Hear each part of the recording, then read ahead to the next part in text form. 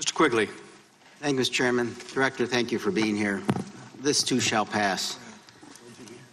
Earlier today and throughout the day, you have uh, stated the the policy that a seated president cannot be indicted, correct? Correct.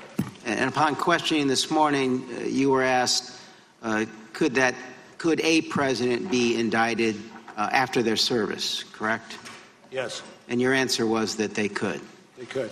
Director, please uh, speak into the microphone. I'm sorry, thank you. So uh, They could. The follow-up question that should be concerning is, what if a president serves beyond the statute of limitations? I don't know the answer to that one. Would it not indicate that if the statute of limitations on federal crimes such as this are five years, that a president who serves a second term is therefore under the policy above the law? I'm not certain I would agree with the, con- I'm not certain I would agree with the conclusion. I'm not certain that I can see But the the statute possibility uh, that you suggest. but the statute doesn't toll, is that correct? I don't know specifically. It, it, it clearly doesn't. And I, I just want, as, as the, the American public is watching this and, and perhaps learning about many of these for the first time, uh, we need to consider that and that the other alternatives are perhaps all that we have. Uh, but I appreciate your, your response. Earlier in questioning, uh, someone mentioned that it was a question involving whether anyone in the Trump political world publicized the emails, whether or not that was the case. I, I just want to refer to volume one, page 60, where we learn that Trump Jr. publicly tweeted a link to the leak of stolen Podesta emails in October of 2016. You're familiar with that? I am.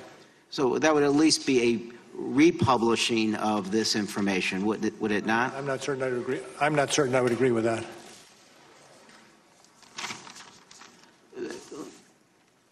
Director Pompeo uh, assessed WikiLeaks in one point as a hostile intelligence service. Uh, Given your law enforcement experience and your knowledge of what WikiLeaks did here and what they do generally, would you assess that to be accurate or something similar? How would you assess Uh, what WikiLeaks does? Uh, Absolutely. And they uh, are currently under indictment. Is Julian Assange- uh, Would it be fair to describe them as, you would agree with Mr. Director Pompeo, uh, that's when he, what he was when he made that remark, that it's a hostile intelligence service, correct? Yes. If we could put up slide six. This just came out, WikiLeaks. I love WikiLeaks. Donald Trump, October 10th, 2016. This WikiLeaks stuff is unbelievable. It tells you the inner heart. You got to read it. Donald Trump, October 12, 2016. This WikiLeaks is like a treasure trove. Donald Trump, October 31st, 2016. Boy, I love reading those WikiLeaks. Donald Trump, November 4th, 2016. Would any of those quotes disturb you, Mr. Director? I'm not certain I would say How do you react to them? Uh, Well, uh, it's probably tr- problematic is is an understatement in terms of what it display- displays, in terms of uh, uh, giving some, uh, I don't know, hope or some boost to what is and should be illegal activity. Volume 1, page 59.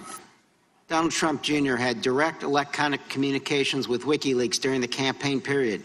On October 3rd, 2016, WikiLeaks sent another direct message to Trump Jr. asking you guys to help disseminate a link alleging candidate Clinton had advocated a drone to attack Julian Assange. Trump Jr. responded that, quote, he had already done so. Same question.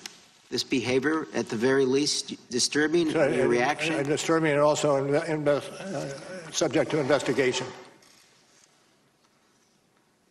Could it be described as aid and comfort to a hostile intelligence service, sir? I I wouldn't categorize it in any- with any specificity. I yield the balance to the chairman, please.